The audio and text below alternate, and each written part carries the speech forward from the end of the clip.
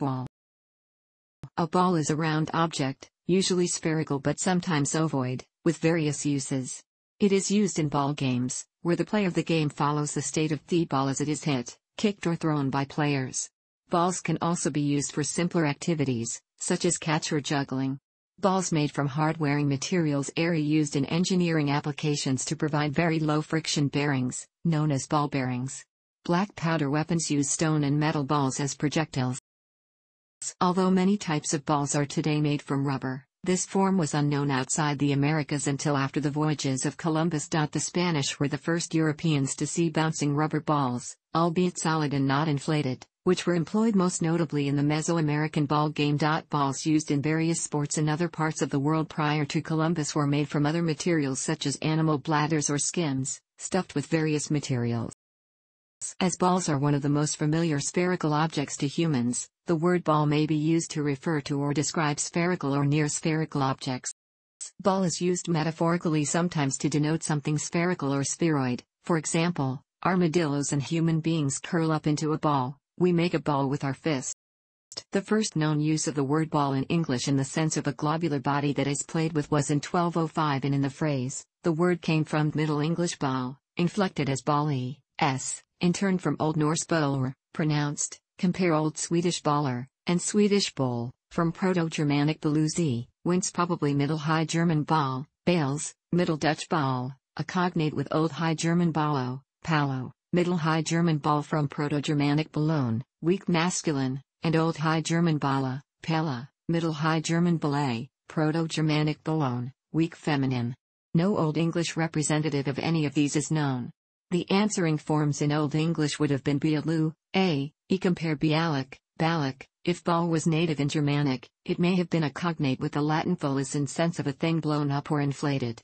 In the later Middle English spelling ballet the word coincided graphically with the French ballet ball and bale which has hence been erroneously assumed to be its source. French ballet, but not boule, is assumed to be of Germanic origin, itself, however.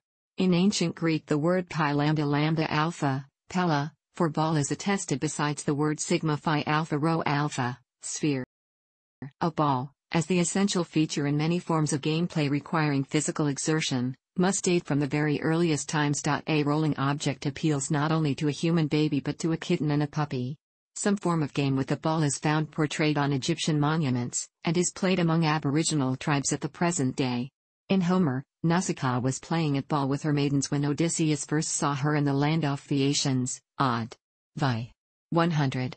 And Helios and Laodamas performed before Alcinous and Odysseus with ball play, accompanied with dancing, Odd 8. 370.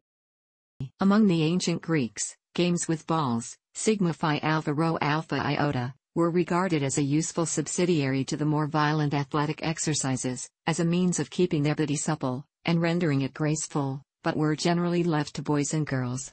Of regular rules for the playing of ball games, little trace remains, if there were any such. The names in Greek for various forms, which have come down to us in such works as the new Omicron Mu Alpha Sigma Tau Iota Kappa Nu of Julius Pollux, imply little or nothing of such. Thus, Pyro Rho Alpha Xi Iota Sigma, a paraxis, only means the putting of the ball on the ground with the open hand. Omicron Rho Alpha Nu Alpha, Urania, the flinging of the ball in the air to be caught by two or more players, phi alpha iota nu nu delta alpha, faninda, would seem to be a game of catch played by two or more, where feinting is used as a test of quickness and skill. Pollux, I, X, 104, mentions a game called episkyros, pi sigma kappa upsilon rho omicron sigma, which has often been looked on as origin of football. It seems to have been played by two sides, arranged in lines, how far there was any form of goal seems uncertain. It was impossible to produce a ball that was perfectly spherical. Children usually made their own balls by inflating pig's bladders and heating them in the ash off a fire to make them rounder. Among the Romans, ball games were looked upon as an adjunct to the bath, and were graduated to the age and health of the bathers, and usually a place, sphaeristerium was set apart for them in the baths, thermae.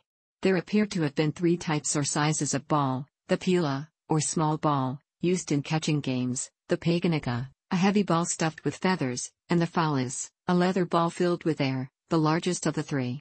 This was struck from player to player, who wore a kind of gauntlet on the arm.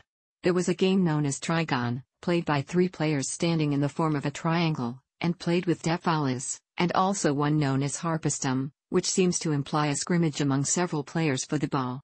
These games are known to us through the Romans, though the names are Greek. The various modern games played with a ball or balls and subject to rules are treated under their various names, such as polo, cricket, football, etc. Thanks for watching. Don't forget like the video and don't forget to subscribe.